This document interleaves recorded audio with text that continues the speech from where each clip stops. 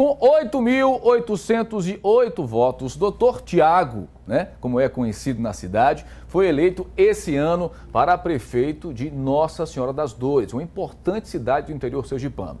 Ele foi escolhido por 56,67% da população de Dores e está aqui comigo para falar sobre o que, é que ele pretende fazer a partir de janeiro de 2017. A gente recebe aqui com muito carinho, satisfação conhecê-lo, bem-vindo. Boa tarde. É, boa tarde, um jovem é, prefeito, né, prefeito sergipano. Eu lhe pergunto, é, futuro prefeito, o que esperar da sua administração? A gente está vendo aí os municípios sofrendo muito, né? Todo mundo reclamando da falta de dinheiro, queda de arrecadação.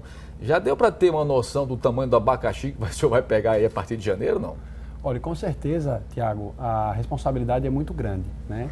Mas a gente precisa entrar é, com consciência, fazer uma reforma administrativa para cortar os gastos, é, gastos desnecessários com a máquina pública, para que o recurso que o município tem seja usado de fato naquilo que a população mais precisa, que é o investimento direto nas áreas essenciais, né? saúde, educação, segurança, enfim, todas aquelas competências municipais que estão abrangidas aí na Constituição de 88. Nesse primeiro momento, por ser médico, a saúde seria eh, uma prioridade?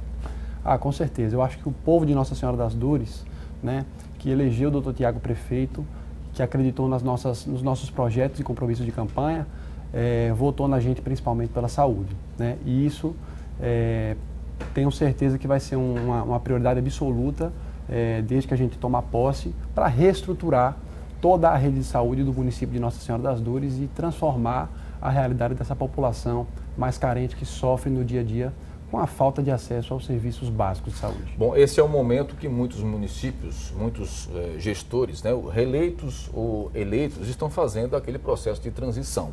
Né? E alguns estão encontrando dificuldades, né? É, a falta de acesso à documentação, equipamentos que somem de última hora, a dilapidação do patrimônio público. Como é que está a Dores nesse momento? O processo de transição já começou? Então, na verdade, a transição ela começou de direito, mas não começou de fato. Né? A gente teve uma reunião ontem com o promotor de Nossa Senhora das Dores para justamente agilizar essa questão da documentação, para conhecer um pouquinho mais da realidade financeira e da realidade operacional. Então não foi possível ainda traçar um diagnóstico preciso daquilo que será encontrado eh, a partir de janeiro, é isso? Não, não. Até o momento, até o momento a gente não recebeu nenhuma documentação da equipe de transição do atual prefeito a equipe que vai trabalhar ao seu lado já começou a ser montada? Porque isso é importante para a cidade, as pessoas conhecerem quem vai estar ao seu lado, né? Com certeza. A gente está avaliando ainda todas as possibilidades, né? Acho que pretendo formar uma equipe técnica, uma equipe 100% técnica e principalmente tentar aproveitar os talentos eh, de Nossa Senhora das Dores para fazer uma gestão eficiente.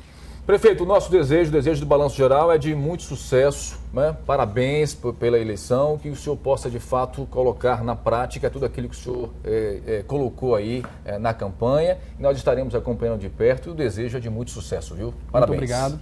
Um grande abraço e a gente se vê aí. Estamos de olho, tá vamos estar de olho, viu? Tá